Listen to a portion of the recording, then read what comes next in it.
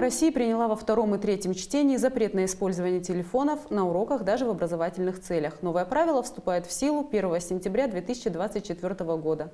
О новом законопроекте мы поговорим с директором пятой гимназии Мариной Геннадьевной Кулишкиной. Добрый день, Марина Геннадьевна. Добрый день. Как вы считаете, реально ли полностью отказаться от телефонов в школе? Полностью отказаться в учебных целях однозначно реально и нужно мы, в принципе, никогда особо телефоны в учебных целях и не использовали. И они необходимы, необходимость однозначно в них отсутствует. Они только мешают, потому что живое слово учителя, общение однозначно должно быть в школе, не более того.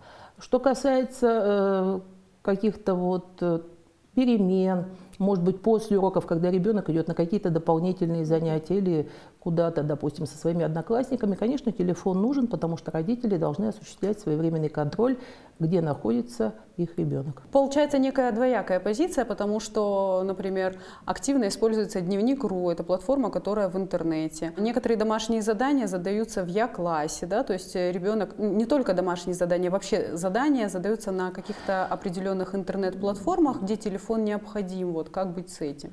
Вы знаете, к сожалению, два года мы все знаем, э, мы находились в условиях пандемии, было дистанционное обучение, и без электронных ресурсов, конечно, мы не обошлись бы и полноценно бы не могли осуществлять образовательный процесс.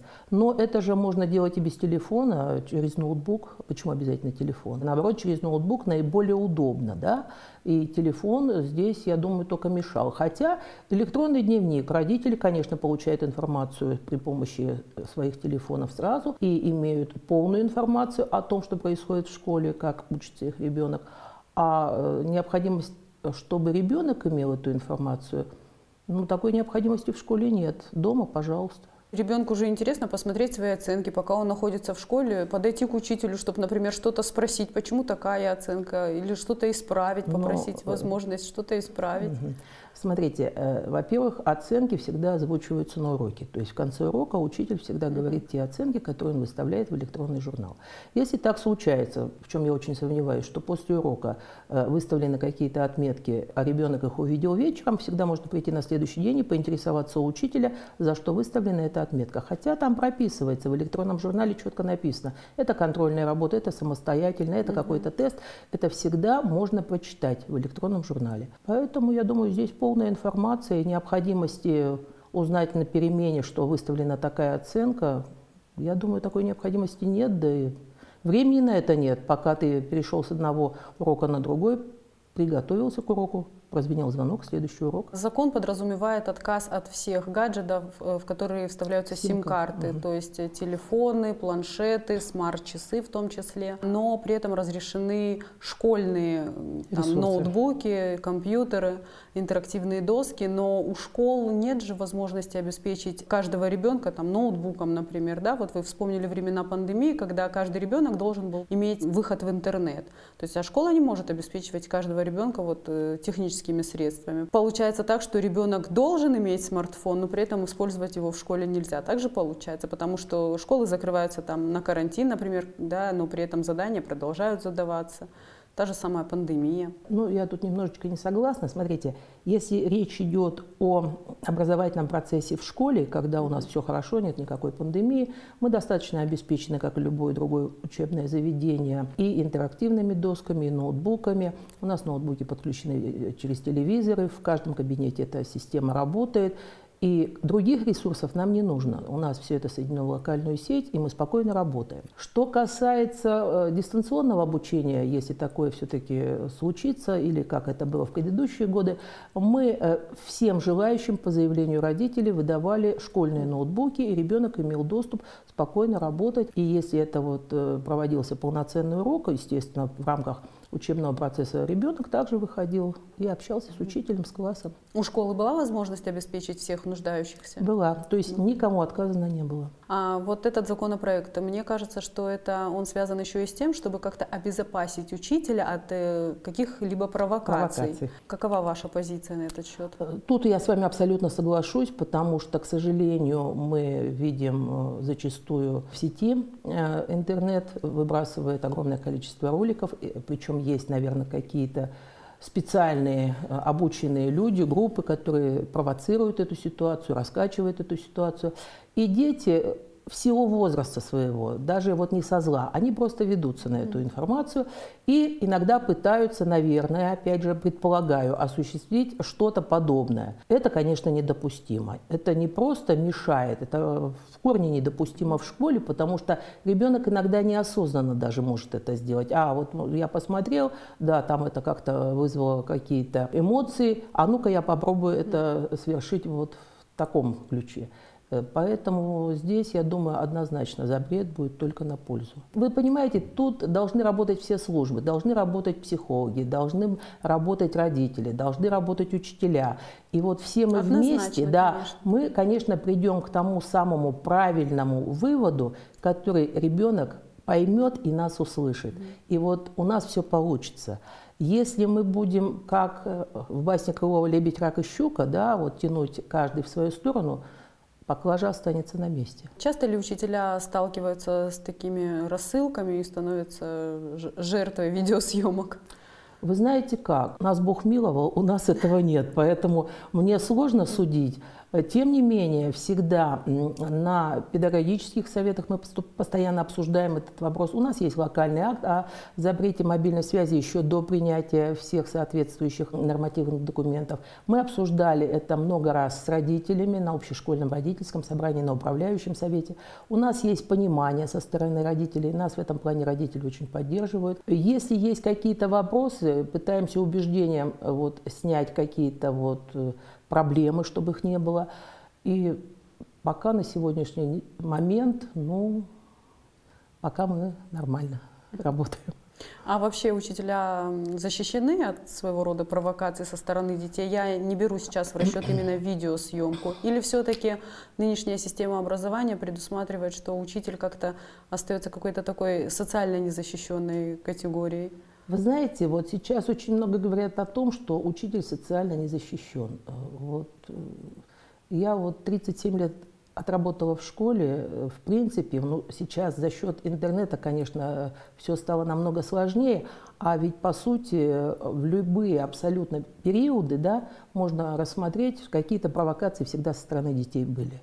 Они были по-разному как-то в модификациях каких-то, но они были. Я не могу сказать, что сейчас дети вот просто целенаправленно пытаются как-то спровоцировать ситуацию, да, я думаю, что этого нет. Дети зачастую, еще раз подчеркиваю, это делают неосознанно, именно за счет того потока информации, который идет именно с интернета, что однозначно плохо. Ну, я сейчас имею в виду даже не то, что со стороны действий детей, а даже больше со стороны действий родителей, потому что вот э, в некоторых э, областях, не, не у нас, да. в Северной Осетии, ну, были прецеденты, когда родители на личных страничках в социальных сетях видели там какие-то вот я помню фотографии учителя, где она выставила в купальнике, потому что она вообще-то занималась плаванием, да, она спортсменка по плаванию, поднялся большой бунт, как вот, э, ну, она учитель она не имеет права выставлять фотографию в купальнике, но это вид спорта, которым она занимается. И дошло до того, что учитель ну, подписала заявление. И такие прецеденты случаются то здесь, то там. Вот э, как вы на ну, это вот смотрите? понимаете, нужно э, прежде всего каждому понимать, что учитель это тоже обычный человек, гражданин, и у него есть свое пространство, угу. через которое проходить нельзя, понимаете? Это его личное пространство, Согласна и он имеет на него вами, право, конечно. понимаете? Почему, если кто-то имеет возможность отдыхать, и все это хорошо и замечательно приветствуется, огромное количество фотографий, а учитель не имеет права со своей семьей отдохнуть и просто получить положительные эмоции и наслаждаться этими эмоциями. Это неправильно. Э, с другой стороны, статус учителя, он, э, конечно, обязывает и если ты являешься воспитателем огромного количества подрастающего поколения, значит, ты должен держать эту планку и ни в коем случае не опускать. Вот здесь перегибов быть не может. Раскачать ситуацию ведь любую можно. Но вопрос, кому это нужно? Понимаете, если мы ставим вопрос, кому это нужно, тогда э, становится все понятно. А если э, мы понимаем, что любая ситуация может быть рассмотрена с одной и с другой mm-hmm. стороны, и может быть сделан правильный вывод или неправильный в пользу чего-то, mm-hmm. вопрос стоит зачем? Закон уже вступит в силу 1 сентября 2024 года, то есть в новом учебном году. А как вы намереваетесь исполнять его? То есть будут детей как-то проверять при входе в школе или будут изымать телефоны, когда их уже увидят у детей? Или как? Будет исполняться закон? Вы знаете как? У нас на уроках дети телефонами не пользуются. У нас их нет. Хотя у каждого ребенка есть телефон в его портфеле. Если в портфеле отключен звук, звук и в портфеле находится телефон, это его личное пространство, пожалуйста, пусть он там находится все шесть уроков. Фундаментально ничего Никаких не вопросов, абсолютно, понимаете? Вполне возможно, что он на перемене хотел позвонить родителям, хотел позвонить своим старшим, просто узнать о здоровье своих э, родных. Разве это плохо? Это ведь тоже воспитание, это тоже культура. У нас, э, вот э, я хочу подчеркнуть, у нас, конечно, особый менталитет, и это нам сильно помогает, понимаете? То есть у нас нет таких вот глобальных проблем, как мы слышим, это вот в средней полосе mm-hmm. России. И здесь для нас большой плюс и большая помощь в школе. Поэтому я думаю, что кардинально, вот что мы при входе в школу у детей начнем изымать телефоны, это, конечно, неправильно. И что у нас тогда коллапс наступит, понимаете? Дети когда будут ко второму уроку в школу приходить? Это, конечно, недопустимо. Но поддержка родителей здесь однозначно нужна, потому что когда ребенок идет в школу, родитель должен понимать, либо он идет с фонариком, и ему нужно только позвонить домой и сказать, уроки закончились, я вас жду, или я иду домой, и родители могут ему, его проконтролировать просто. Либо, значит, э, у него гаджет какой-то самой-самой последней модели, но он в сумке, в портфеле, и он его не достает до окончания уроков. Тоже никаких вопросов к нему нет. Поэтому здесь должно быть понимание всех трех участников образовательного процесса вот. – родителей, детей и учителей. Раз уж мы заговорили о родителях, как вы думаете, как воспринята эта новость э, родителями? Думаю, положительно. Родители должны быть не просто какими-то сторонними наблюдателями, а должны однозначно поддерживать все то хорошее, что в образовании у нас на сегодняшний день есть.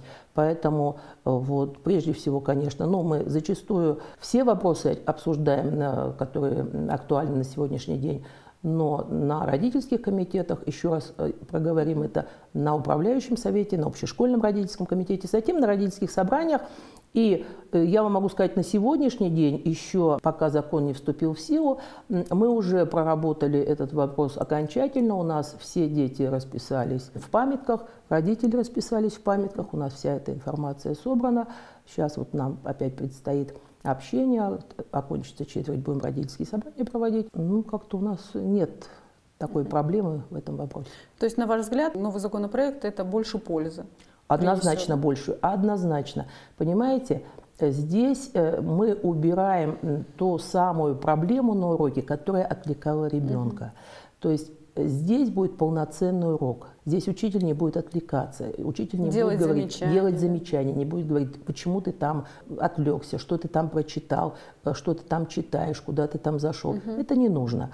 До сих пор мы же знаем, что вот во всех абсолютно школах у нас стояли фильтры э, со стороны нашего Министерства образования, и зачастую нельзя было куда-либо выйти. Ни учитель не мог, ни ученик, и это здорово, конечно. Мы даже иногда получалась ситуация, что если мы хотели бы воспользоваться допустим, какой-то информации на каком-то образовательном портале, иногда он был просто закрыт, потому что он не попал в тот список, который допустим. Понимаете, и мы созванивались. Но это вы говорите про школьный Wi-Fi, да? То есть да, про школьный, да. Да, да, да.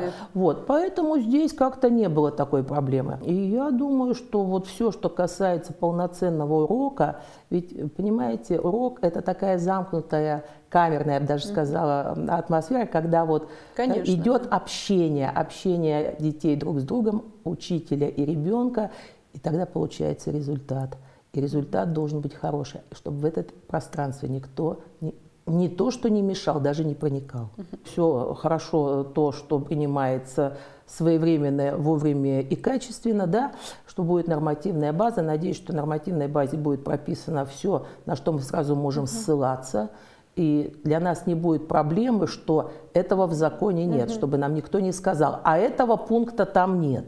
Понимаете, чтобы не было перегибов. Вот есть четкость, прописаны все пункты, и всем все понятно. То есть раньше учитель не мог изъять телефон у ребенка на уроке, да? Нет, нет, ни в коем случае. Он и сейчас, по сути, не может его изъять. Это все-таки личные вещи ребенка. Если четко будет прописано, вот это нельзя, ты просто ссылаешься, допустим, пункт А, или там пункт угу. первый, пункт А, там прописано, что телефон на уроке отсутствует. У тебя он на парте лежит, будь любезен, убери, пожалуйста, угу. в портфель, закрой портфель, продолжаем урок. Или до урока Прошли, посмотрели, ничего нет, никаких вопросов, полноценно начинаем урок. Никто не отвлекается. Понимаете, это очень важно, потому что урок всего 40 минут, и, конечно, ни в коем случае нельзя эти минуты тратить в никуда. Ну да, это для детей урок бесконечен. Да. А если вдуматься, Нет, то вы знаете, хороший урок, полноценный урок, интересный урок, он пролетает мгновенно. Ты не успеваешь только глазом моргнуть, урок закончился. Так, конечно, жалко, и время жалко. А если ты еще отвлекся, это вообще неправильно. Да. Мария это, Геннадьевна, желаем вам только хороших уроков, спасибо. которые пролетают спасибо. мгновенно. И спасибо, спасибо, что пришли к нам в спасибо. студию.